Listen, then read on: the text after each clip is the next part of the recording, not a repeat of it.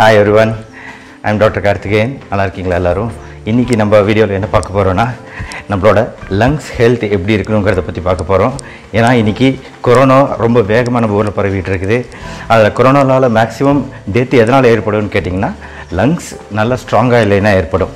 So இந்த video என்ன பார்க்க போகிறோன்னா நம்ம லங் ஹெல்த்தை எப்படி இம்ப்ரூவ் பண்ணுறது அப்படிங்கிறத பற்றி பார்க்க போகிறோம் ஃபர்ஸ்ட்டு யாருக்கெல்லாம் நுரையீரல் வீக்காக இருக்கோ முதல் காரணம் வயசு. வயசு அதிகமாகும் போது நம்மளோட லங் ஹெல்த் மட்டும் இல்லை நம்ம உடம்போட எல்லா பார்ட்ஸுமே வீக் ஆகும். நேச்சுரலாக லங்ஸும் கொஞ்சம் வீக்காக வாய்ப்பு இருக்கு. ரெண்டாவது காரணம் chronic அஃபெக்டிவ் பல்மரி டிசீஸ் அப்படின்னு சொல்லுவாங்க. இதில் ரெண்டு டிசீஸ் வரும் எம்பசிமா அண்ட் chronic பிராங்கைட்டிஸ் எம்பசிமானா தமிழில் திசுக்களில் காற்று பரவிய நிலை. Chronic பிராங்கைட்டிஸ் அப்படின்னா நாட்பட்ட மூச்சு குழாய் அலர்ச்சி. இந்த ரெண்டு நோய்களுக்கும் முக்கியமான காரணம் புகைப்பிடிக்கிறது ரீசெண்டா என் ஃப்ரெண்ட் ஒருத்தர்கிட்ட பேசிட்டு இருந்தேன். அப்ப அவர் சொல்லிட்டு இருந்தாரு நல்லா ஃபில்டர் சிகரெட் தான் பிடிக்கிறேன் தெரியுமா? அதனால எனக்கு ஒண்ணுமே ஆகாது அப்படின்னு சொல்லிட்டு இருந்தாரு. பட் ரிசர்ச் என்ன சொல்லுதுன்னா ஃபில்டர் சிகரெட்டோ அன்ஃபில்டர் சிகரெட்டோ சிகரெட்ல இருக்கக்கூடிய கோல் டார் நிக்கோட்டின் அப்படின்னு எல்லா நச்சு பொருட்களும் ஈக்குவலா நம்ம லங்ஸுக்குள்ள போகும். அதனால அது சிகரெட்டா இருந்தாலும் சரி பீடியா இருந்தாலும் சரி பான் குட்கா புகையிலை போன்றவையாக இருந்தாலும் சரி எதாக இருந்தாலும் நிக்கோட்டின் அதோட வேலையை கண்டிப்பாக நம்ம உடம்புல காட்டும். மூணாவது காரணம் ஆஸ்துமா. உங்கள் எல்லாருக்கும் காமனாக தெரி தெரிஞ்சிருக்கும். மூச்சிறைத்தல் இழப்பு நோய் அப்படின்னு சொல்லிட்டு கிராமப்புற மக்கள் சொல்லுவாங்க. நாலாவது காரணம் நிமோனியா. நிமோனியாங்கிறது நம்ம லங்ஸ்க்குள்ளே இன்ஃபெக்ஷன் வருது இதில் தான் வந்து இந்த கொரோனா வியாதியும் வருது. ஏன்னா பாக்டீரியா வைரஸ் ஃபங்கஸ்னு மூணு விதமான கிருமிகள் நம்ம உடம்பில் நுரையீரலை தாக்கக்கூடிய சக்தி வாய்ந்தது.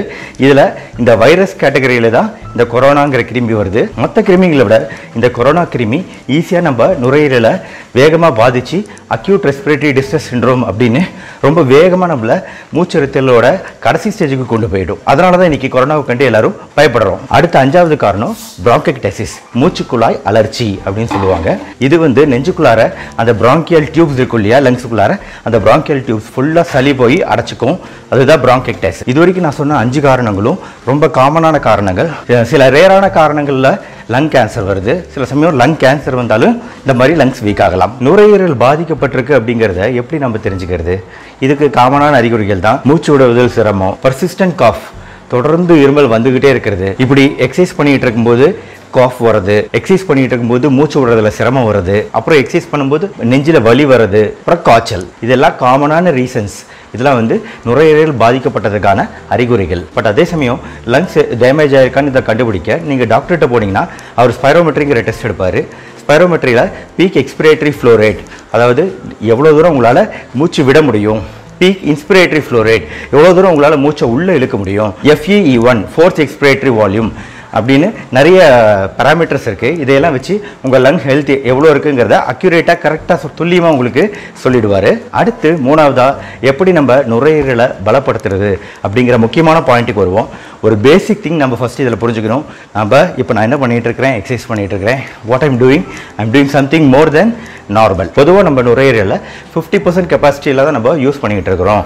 நம்ம ரெஸ்ட்டில் இருந்தாலும் சரி வேலைகள் செஞ்சுட்டு இருந்தாலும் சரி ஃபிஃப்டி பர்சன்ட் கெப்பாசிட்டி தான் நம்ம நுரையீரலை யூஸ் பண்ணுறோம் அப்படி ஃபிஃப்டி பர்சன்ட் கெப்பாசிட்டியில் யூஸ் பண்ணும்போது என்ன ஆகும்னா நம்மளோட நுரையீரல் ஸ்ட்ராங் ஆகாது. போக போக வீக்காக தான் ஆகிட்டு இருக்கும். எக்ஸ்பர்ட்ஸ் என்ன சொல்கிறாங்கன்னா நம்ம ஃபிஃப்டி பர்சன்ட்டாக நம்மளோட லங் கெப்பாசிட்டி யூஸ் பண்ணுறோம் அப்படிங்கும்போது நம்ம உடம்புல நார்மலாக சுரக்கக்கூடிய அந்த டாக்ஸின்ஸ் இருக்குது பார்த்தீங்களா அதையெல்லாம் வெளியேற்றுறதுக்கு நம்மளோட நார்மல் ப்ரீதிங் பத்தாது.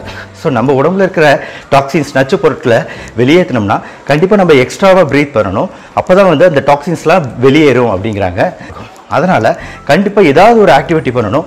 அதில் உங்கள் நு நுரையீரலை நீங்கள் பலப்படுத்தணும். ஸோ பேசிக் கான்செப்ட் நுரையீரலை பலப்படுத்துக்கு என்ன தேவை? ப்ரீதிங் அது எந்த விதமான ப்ரீதிங்காக வேணால் இருக்கலாம். இப்போ நான் ட்ரெட்மில்லில் ஓடிக்கிட்டு இருக்கிறேன்.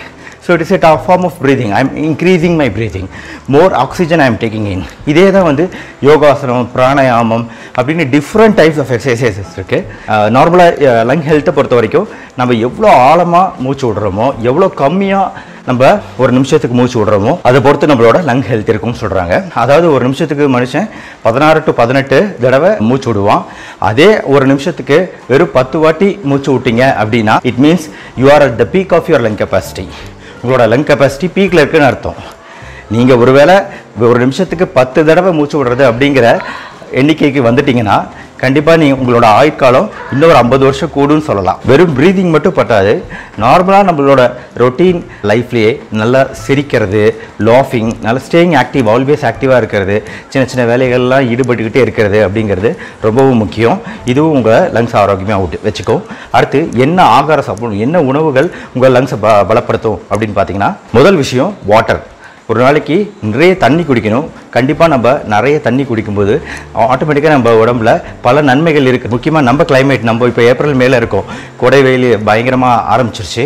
நார்மலாக ஒரு மனுஷனுக்கு எட்டு கிளாஸ் வாட்டர் அதாவது ஒரு நாளைக்கு ரெண்டு லிட்டர் அப்படிங்கிற ஒரு கான்செப்ட் இருக்குது பட் அது வந்து மெடிட்டரேனியன் கண்ட்ரீஸ்க்கு பட் நம்மள மாதிரி ஹாட் வெதரில் இருக்கக்கூடியவங்களுக்கு கண்டிப்பாக அட்லீஸ்ட் ஒரு மூன்றரை லிட்டர் வாட்டராவது ஒரு நாளைக்கு தேவைப்படும். அடுத்து என்னென்ன உணவுகள் நம்ம லங்ஸை பலப்படுத்தும் அப்படின்னு பார்த்தீங்கன்னா மீன் முட்டை சீஸ் பட்டர் ஆப்பிள் இந்த அஞ்சும் நம்மளோட லங்ஸை பலப்படுத்தும். இது வந்து நான் சொல்லலை ஆராய்ச்சி பூர்வமாக கண்டுபிடிச்சதை நான் சொல்கிறேன் அடுத்து ரொம்ப காலமாக ஸ்மோக் பண்ணுறவங்க நம்ம லங்ஸ் வந்து ஃபுல்லாக டேமேஜ் ஆகிடுச்சு இனிமேல் அது ரெக்கவர் ஆகுமா அப்படிங்கிற டவுட் இருக்கும். பொதுவாக மெடிக்கல் எக்ஸ்பர்ட்ஸே கூட லங்ஸ் ஒன்ஸ் டேமேஜ் ஆகிடுச்சுன்னா அது ரெக்கவர் ஆகாதுன்னு சொல்லுவாங்க.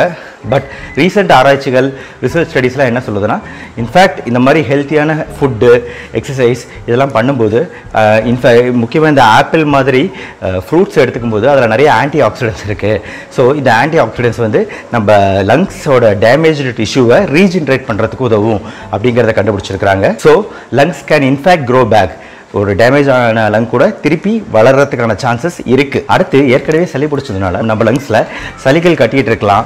இந்த அலர்ஜினால் திருப்பி திருப்பி சளி கோத்துக்கிட்டு இருக்கலாம். ஸோ அந்த மாதிரி சுச்சுவேஷனில் ஸ்டீம் இனலேஷன் அப்படின்னு சொல்லக்கூடிய ஸ்டீம் தெரப்பி கண்டிப்பாக நம்ம லங்ஸுக்கு ரொம்ப ஹெல்ப்ஃபுல்லாக இருக்கும். மியூக்கஸ் நம்மளோட சளியை வெளியே கொண்டு வரும். நம்ம உடம்புலேருந்து சளியை வெளியேற்றோம்னா only there are three things that is possible ஒன்று ஸ்டீம் இனலேஷன் அடுத்து எக்ஸசைஸ் அடுத்து ஆரோக்கியமான foods especially antioxidant foods anti inflammatory food source இருக்கிறவங்க க்ரீன் டீ சாப்பிட்டாலும் கொஞ்சம் உடம்பு லங்ஸுக்கு நல்லதுன்னு சொல்கிறாங்க green tea is more beneficial to the lungs so இது வரைக்கும் லங் லங்ஸ் எதனால் டேமேஜ் ஆகுது? லங்ஸ் டேமேஜ் ஆனால் எப்படி கண்டுபிடிக்கிறது?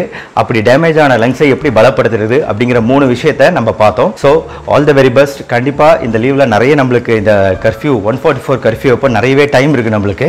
So we can all intelligent some form of exercise நம்ம எக்ஸசைஸ் பண்ணும்போது இந்த மாதிரி நல்ல வேர்வை வரணும். நம்ம இதே துடுப்பு பட்ட பட்ட பட்ட பட்ட பட்டன்னு அடிக்கணும்.